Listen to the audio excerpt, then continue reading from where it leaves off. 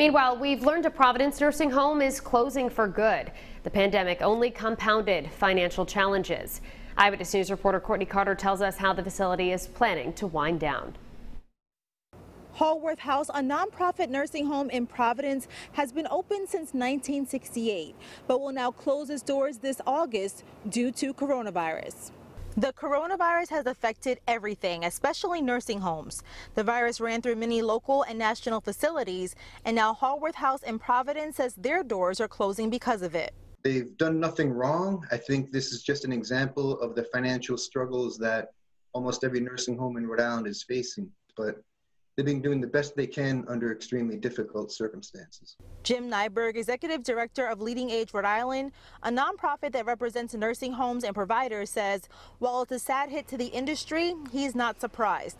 Coronavirus has turned their industry upside down. The impact has, has been uh, huge for every nursing home. It's affected their, their revenue, and they've certainly been under great strain providing quality care to their residents during this pandemic. The closure announcement comes amid growing alarm about the health of Rhode Island's 85 long-term care facilities. The 23 remaining residents at Hallworth were informed of the closure Tuesday.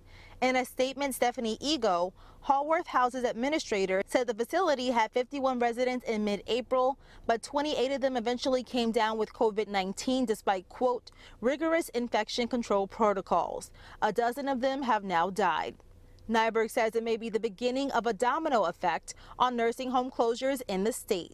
That's the concern. Every year we have tried to highlight with policymakers the, the financial struggles that nursing homes are under.